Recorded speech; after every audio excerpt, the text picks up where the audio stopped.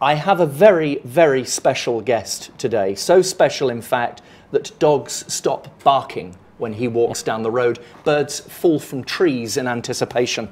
Um, he's an oracle, he's a uh, prophesier. Um, today's guest is a predictor of, of the future. I'm delighted to be joined by Daniel Franklin. Daniel, welcome uh, to uh, uh, ogilvydo.com. Thank Lovely you. to have you here. Pleasure, pleasure to be with you. You are the uh, you're the editor of, of the Economist, Executive editor, executive yeah. editor of, of the Economist.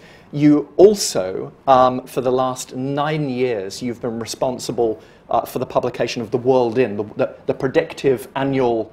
Um, uh, uh, report feature Yep. that, that, that is produced. Daniel, you, you've got to help me here because every um, ev- every conversation that I have with, with CEOs and, and with businesses generally, it is more difficult than ever before for them to predict of the next quarter of how their business will be. Um, is that just because I'm speaking to the wrong CEOs? Or, or, or are you finding, as you sit and you think of, of making those predictions over the last decade, is it indeed getting more difficult to predict? Yes, I think it's been harder through, ever since really the economic crisis. I think that's been a, a peculiarly difficult period. And in fact, this year, um, 2013, is, is a, a tricky one for, for, for a couple of very clear reasons. One is uh, the famous fiscal cliff in America. So we know that's coming up. Um, we know that if nothing is done about it, the outlook is fundamentally different. Uh, and depending on what, what is sorted out or not sorted out, um, the US economy, which is so important to, um, to the world, but uh, not least here in, in Asia and Singapore, which is an open trading economy, what happens in, in America is, is vital. Um, so that's one huge immediate uncertainty hanging over the, the, the, the economy. And I think there are many businesses um, in America and elsewhere that are just holding on to wait and see what happens. It's very hard to make, uh, in many cases, investment plans when, when this degree of uncertainty is just in front of you.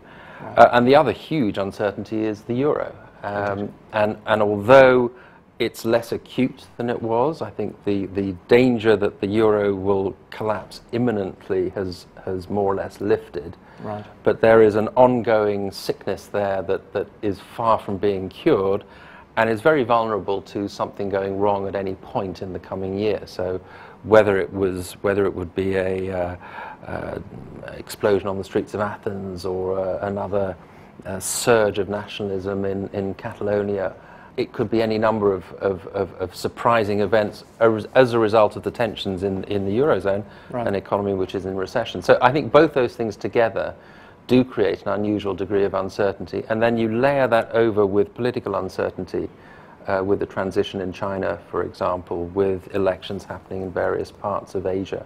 So I, I have some sympathy for those who say, you know, it's, it's hard to see very far ahead. Yes. As far as the, the 2013 predictions are concerned, as businessmen sitting ac- across Asia, what are some of the, the big pillars that we should be mindful of? Uh, okay, well, I, I think the the um, uh, the broad picture is is one um, actually not that dissimilar to the one that we've seen in in recent years. Of very uh, divergent pictures in the emerging world and the rich world. So, uh, as we were talking about just now, recession in in, in Europe uh, for the year as a whole next year, it, it probably looks more or less flat.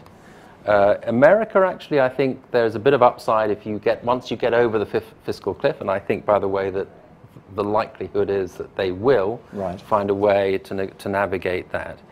Then maybe things will will look up, and particularly by the end of 2013, there's there's a, um, a chance that America will really be surprising on the upside.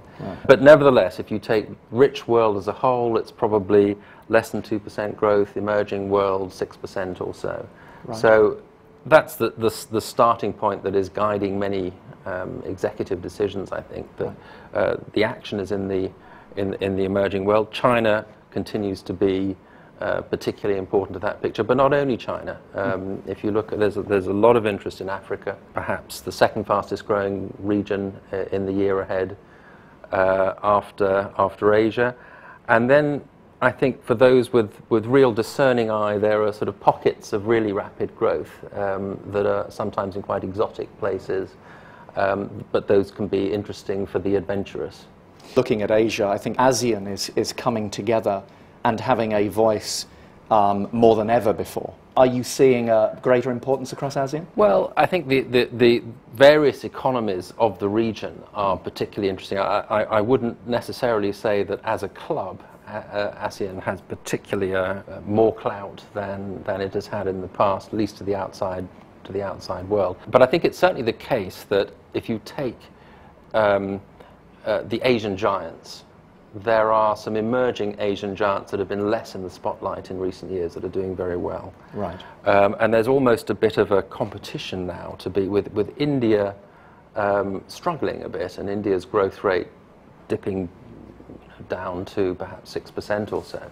There are other giant Asian economies that are becoming very interesting as possibly wanting to become the, the, the, race to be second, if you like. In that context, I think Indonesia is particularly interesting. Mm. I mean, Indonesia next year probably crosses the threshold of quarter of a million people. It's, if the BRICs were invented today, they probably wouldn't be BRICs, they'd be bickies. Right. So you'd probably have Indonesia rather than Russia. And the Philippines as well, which has had remarkably steady uh, growth uh, uh, over the years. And then, you know, you mentioned ASEAN, I mean, Myanmar, it's still, I think, not for the faint-hearted. We've only just had the new uh, foreign investment law, and there are a lot of uncertainties still there. But clearly, there's there's uh, exciting prospects uh, ahead if, if things continue to go reasonably well on the political front. If Groucho Marx were remaking the the Go West young man, um, it probably would be Go East young yeah, man now. Definitely. I mean, it was. Uh, um, I was surprised. I don't know if you were surprised. Um, Daniel, about the fact that no sooner had um, Mr. Obama been, been restored to, uh, into the White House than he sort of said, Michelle, pack your bags. Uh, we're, we're, going east. Yeah. I mean, it was just incredible, his speed, uh, and obviously wanting to be in. There was an ASEAN summit, yes. There, and so that, but it was interesting that he went to Myanmar, which was, yes. you know, obviously an important political statement. Uh, but he has actually deliberately made a lot of the Asian pivot. Uh, and I think in, in the second term, it'll be a sort of pivot plus. Right. Um, you'll see more of that.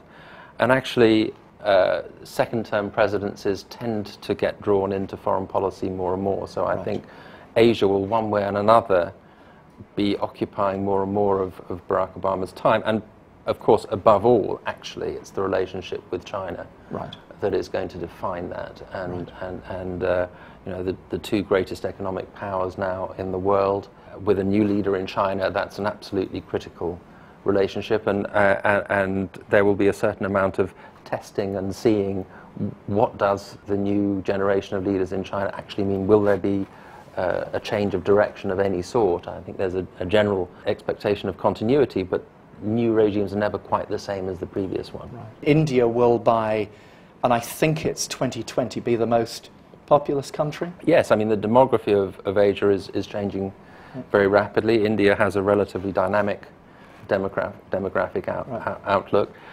And China, I think 2013 may be, some, some people estimate the year when, when the, the labor force starts to shrink. Right.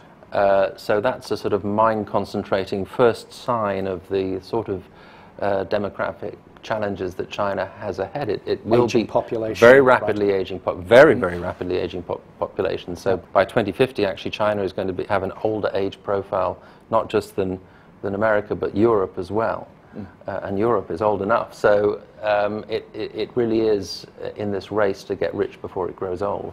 In terms of business, um, Daniel, do you, do you believe that um, businesses in Europe and in the States, that they fully comprehend the, the, the, the challenge or opportunity associated with Asia? Well, I think some do, because some are very, very um, active in, in Asia and, and put a lot of emphasis on it. Uh, but I think clearly many still don't, and I think it, it, it, it's uh, somewhat worrying to me mm. that Europe in particular is going to be preoccupied with its own issues of keeping the euro alive, constitutional change, uh, sorting out yet again the, the institutional arrangements for Europe.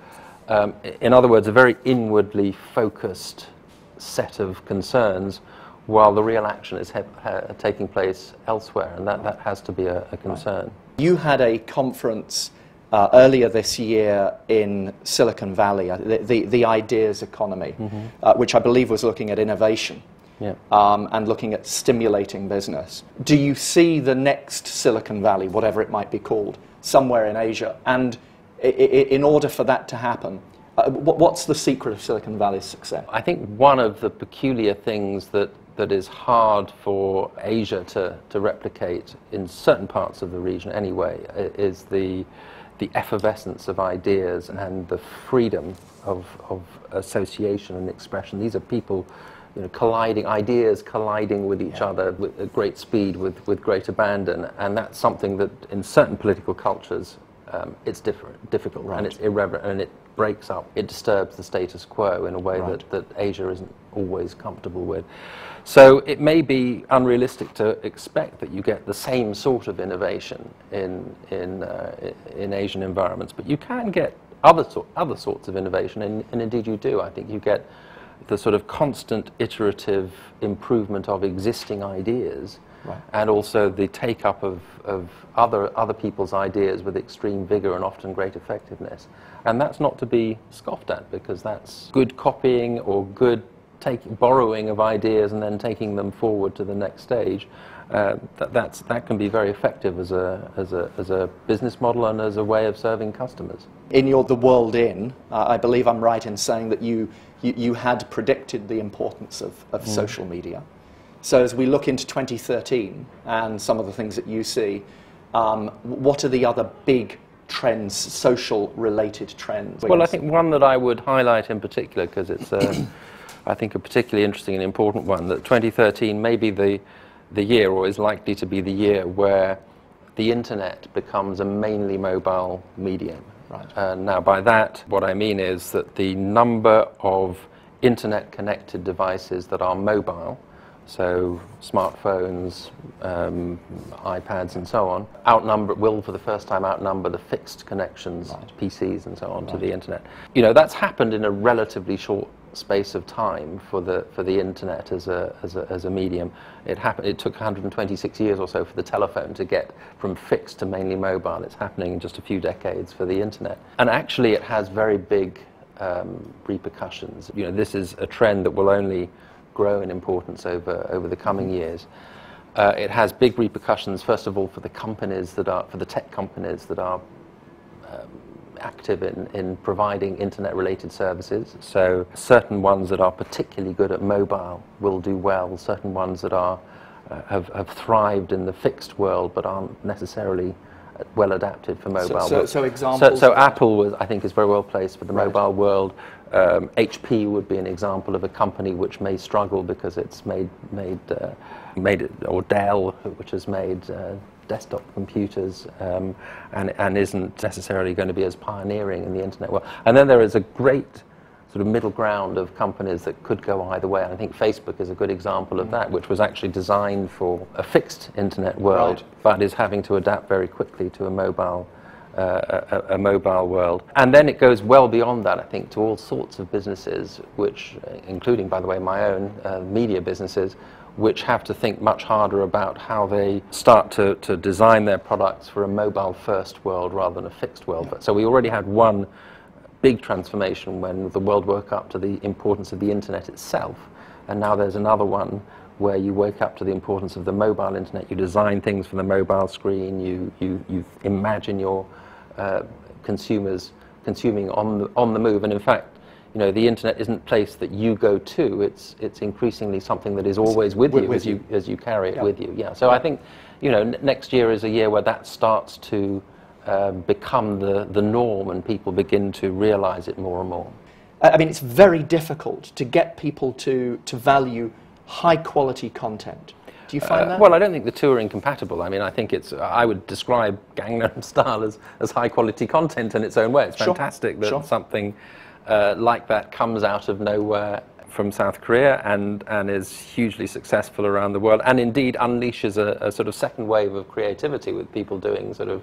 So, you know, that's, that, that's great. But I, I think actually there is an appetite for high quality content, but it, it has to fit in with people's lifestyles in, in, in, in whatever uh, form it's delivered. So um, I, I, I, I would be optimistic about actually probably a growing appetite in all sorts of ways of, of, for, for quite sophisticated content because I think there are growing numbers of people around the world who are actually pick and choose consumers will, will, will happily consume both uh, popular culture mm. and uh, go to museums and uh, go to the cinema to see live opera um, and hopefully read The Economist. The evolution of uh, social media and working with a lot of our clients, there, there was the obsessive need uh, to build communities.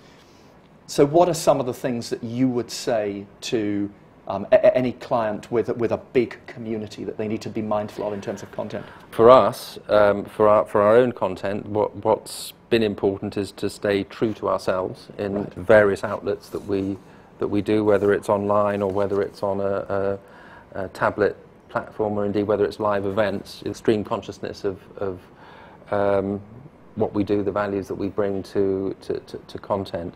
Right. Um, so I think probably in, in, in most contexts, the, the audience or the community will suss out if you're not being true to yourself. So th- that's, that seems to me to be pretty fundamental, whatever you're doing.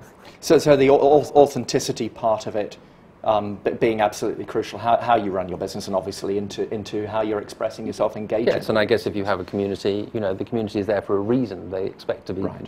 to commune around a certain idea or a certain yeah. style, and if you're not true to that style, they'll wonder what they're doing there. Yeah. It does seem that an, an SMEs obviously being so important uh, across Asia, representing anything between 65 and 90% of, uh, of businesses across Asia. Mm what do you think SMEs can be thinking about um, in terms of, of them as they structure their business, of, of taking advantage of all of the societal change, the technology change, um, and, and, the opportunity to be, to be unencumbered by size almost? Yes. Well, there are, I think it is an exciting time to, to, to be um, starting a business and to, to, to be an SME with, if you're in a sort of business that could have potential audiences anywhere because the platforms exist to go global in a way that, that didn't exist before. So you right. can have Gangnam Style going around the world, for example, right. uh, in, in, no time at all. And you can be a small business and have a have a have a worldwide platform, and nobody really knows you're a small business. You're mm. just what's presenting itself on on global not, not just actually presenting yourselves, but possibly sourcing your materials from anywhere in the world because that's now increasingly easy. So I think those, that potential to have um, the world as your oyster is greater than it has ever been. The final thing I, have got for you, if I may, my congratulations. 30 years you're celebrating next year that you, have you've, you've been with The Economist. Mm-hmm. What would you choose to do in 2013 or in the next decade um, if you were, you, you were going to look for something other than The Economist and other than journalism? What would it be? First of all, I've been extremely lucky to, with these past 30 years. I, I think I, I, would love to um, do something, if I were to start over again, to do something creative, first of all, and that creativity could be in any number of areas, but I, I, I would, I would like to think I would have have the courage to be an entrepreneur next time round um, and, and to, to really create a business and, and moreover to create a global business because I think that must be, uh, would be a very exciting thing to do. It's, it's wonderful that you uh, sort of recognize creativity as we, we talk about th- th- this, the importance of creativity in business. Uh, and, should you decide to do that, Daniel, please let Ogilvy know because we'd love to, to, to, work with you and help you on that. Thank you very much Thank indeed. You. Thank, Thank you. you. Thanks a lot.